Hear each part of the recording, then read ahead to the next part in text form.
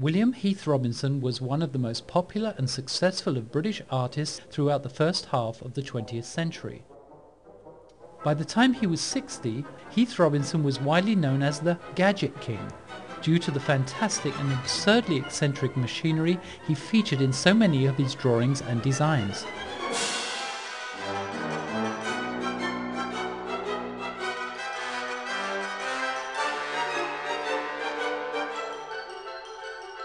Heath Robinson was also greatly loved for the unique children's books he both wrote and illustrated.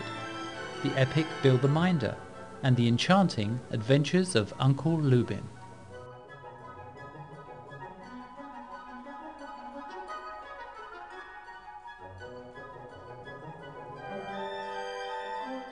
Uncle Lubin hardly hinted at the risque nature of his next book project, the scandalous Rabelais, or indeed many of the other mature literary subjects he was to tackle.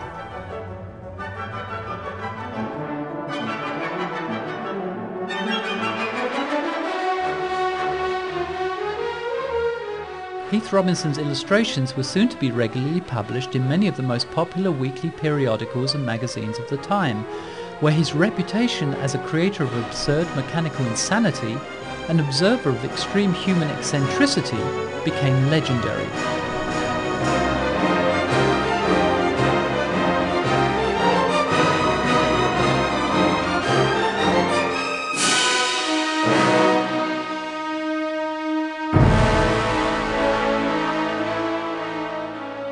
Yet Heath Robinson's humorous work was not the only artistic genius he portrayed. He provided the world a versatile yet accomplished body of serious work that was the equal to that of the most respected European artists of the time. With a classical style and a beautifully accomplished illustrative technique, Heath Robinson became a unique public icon until his death in 1944. William Heath Robinson lived and produced much of his most important work in Pinner, Middlesex, from 1908 to 1918.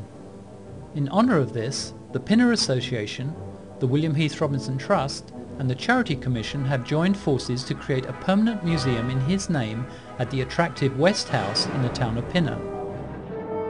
To raise the $350,000 required to restore West House and install this permanent tribute to a unique and much loved artist, a rare and extensive travelling exhibition is planned, the main purpose of which is to gain publicity for the museum and its associated fundraising work. The representatives of the Heath Robinson Trust therefore invite you to consider this unique and extraordinary exhibition as part of your future programme for 2005.